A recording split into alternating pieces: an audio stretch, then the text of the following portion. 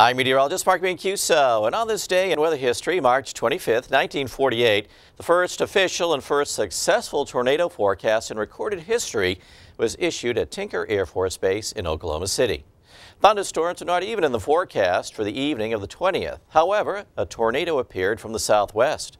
The tornado missed the main base structures, but damage to the aircraft was heavy.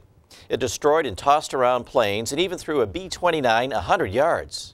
The base commander, Major General Fred S. Borum, questioned the base weather operations and wanted to know why, if they could forecast rain, why not tornadoes?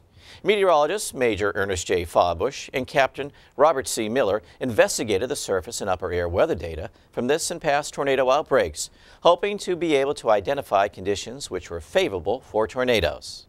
By the 24th, they had compiled several possible tornado indicators and decided it would be difficult but possible to identify large tornado threat areas in the future. On the morning of the 25th, they noticed that the weather charts for the day were strikingly similar to those before the first tornado. They were initially reluctant to issue a warning, considering the chances of a tornado striking the same spot within five days was astronomical. Informing General Borum of the similarity, he wanted a yes or no answer. So in an afternoon meeting, they composed and issued the first official tornado forecast. A supercell formed west of Tinker, and then a tornado touched down on the base. However, because of the tornado forecast, no injuries were reported and damage totals could have been much higher. The tornado prediction was a rousing success.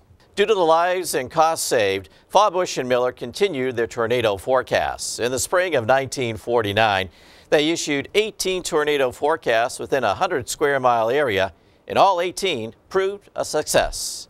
I'm Mark Mancuso.